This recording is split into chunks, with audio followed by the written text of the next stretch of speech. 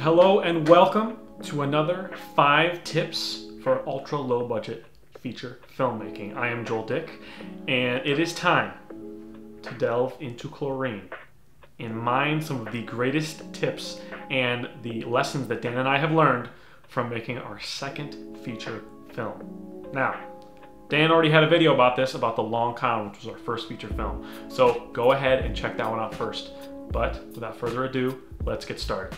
Now the first uh, tip that I have for you today is about locations. Use free ones. What will they do? First, they will inspire you.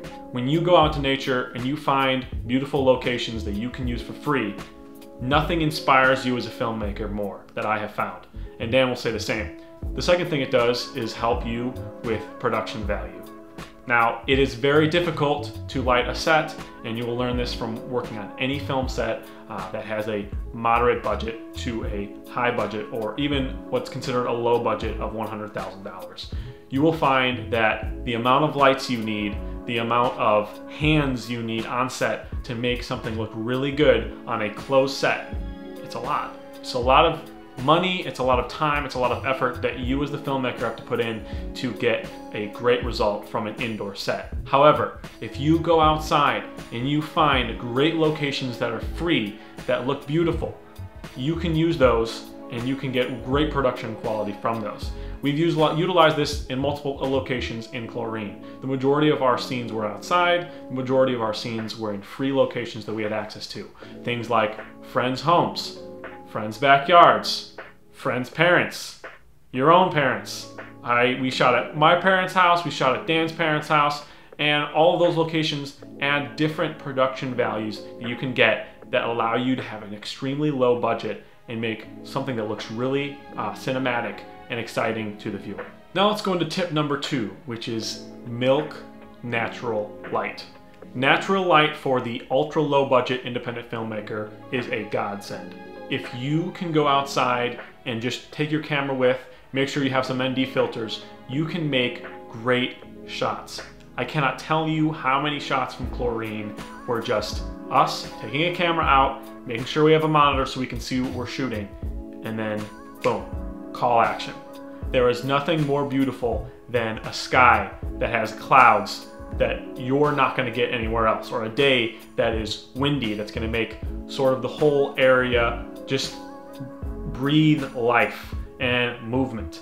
And one example I wanted to give of this in chlorine specifically was when Dan and I decided to go to a batting cage, which was a free location, first of all, and second of all, it was a windy day. Now, did that make some complications? Yes, it did. It was the the the audio was very difficult to work with. But when we looked at the, the content, the the shot that we came back with, it was something that really was not only stunning, but the movement of the batting cage with the outdoor location, making sure that we had an ND filter on, just made sort of Dan and I standing there look very contrasted to the movement of the wind. And it sort of set us apart from the background and it made just a beautiful uh, vista for the film. One of the big pitfalls of independent films with large budgets is their need to have some sort of um, very big name actor to attach to their project. Now, when you're focusing on micro budget features, there is something that will always help you get started and learn from the beginning and get you the best product possible when you're looking to make your first independent feature or even your second independent feature. And that is consider using cast and crew who are willing to work for free. First off, it seems difficult to resort to using people that aren't going to charge you lots of money because of uh, the connections they have or their uh, clout in the industry. Those are definitely going to get eyes on your product. But when you're starting out, it's just something you cannot afford. It's not worth it. You need to learn how to make films before you can learn how to make humongous budgets and go to Sundance with your film.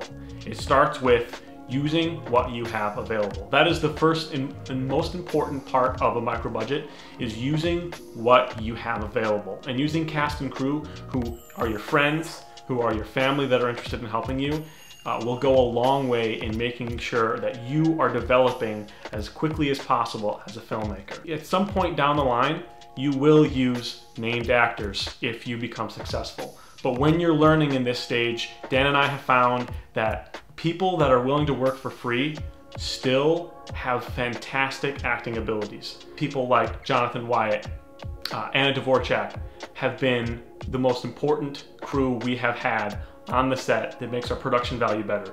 And things like knowing how to give them something in return. Not just say, hey, work for us for free and it'll be great. No, we can give you something for your acting reel. You have to know your own value when you are trying to get people to work on your film.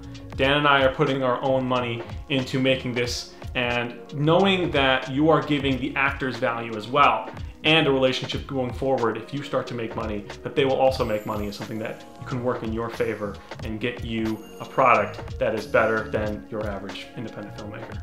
The fourth micro budget tip for independent filmmaking is do not let your progress stop.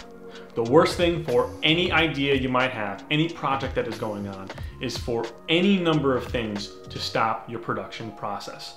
Do not let it happen. For instance, on chlorine, Dan did not have uh, me for any of the scenes uh, in 4th of July and for any of the scenes in Las Vegas.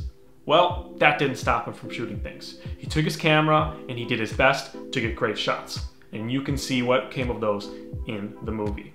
Anything you can do as a creator to keep the progress going will keep the project alive. Dan would be doing edits, I would shoot my own things. Do not let the flow of your independent production cease for any reason. The major reasons that production stops are for things like money, things like a crew member dropping, things like a location being dropped. Do not let those things stop the flow of your production. Now the last tip I have for you micro budget filmmakers out there uh, that pertains specifically to improv when doing a feature film is concerning the theme of your movie. Establish a theme. Because anyone can go around and shoot random scenes, but the only way they become one film is through the theme. A theme is like a foundation for your improv movie. Because when you are going to create any new scenarios, any new scenes, you have to know what you're making them for the main theme. Now, in Chlorine, this is the theme of family. We have two separate scenarios going on. One is the mob family, and the other is uh, Dan's character and his uh, connection with his sister, the stuff that they went through.